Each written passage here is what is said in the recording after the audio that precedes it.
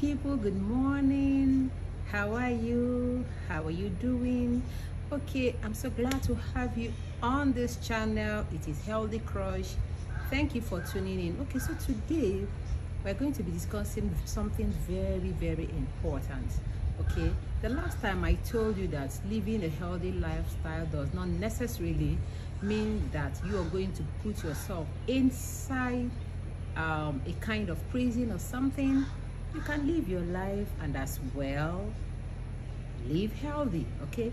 So today um, i don't know what you've heard but i want to discuss something very important something that sounds bizarre you know for everyone you know doing healthy healthy healthy okay? So um, that is a delicious delicacy in this part of the world called isiewu when last did you have that delicacy mm -hmm. yes i know you're watching your weight but you can still have your delicious um, with delicacy and still continue your weight program. Yeah, I do. I, I, I have fun. I told you I enjoy myself and I still um, live healthy, okay? So you can do Isiewu, you know, but what you have to do is just moderate what you what you use in preparing it okay for me what i do is i try as much as possible to reduce the palm oil i use. I try as much as possible to do away with any form of um, your processed seasoning. I don't use seasoning. Of course you guys already know that. If you don't know well you are hearing it for the first time.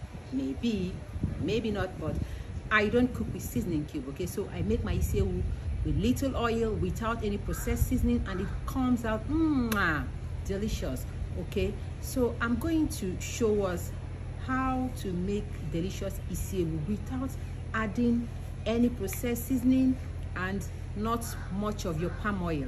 I mean if you do away with these two and then just add little salt um, make it as as healthy as possible. When i say as healthy as possible little salt no palm oil no processed seasoning so in that case you're only dealing with the isiewu itself.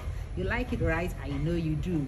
Okay so in my next video just to keep this short as short as possible i am going to show you step by step on how to prepare isiewu in a healthy way. Thank you so much for being there. Have a nice time. Bye bye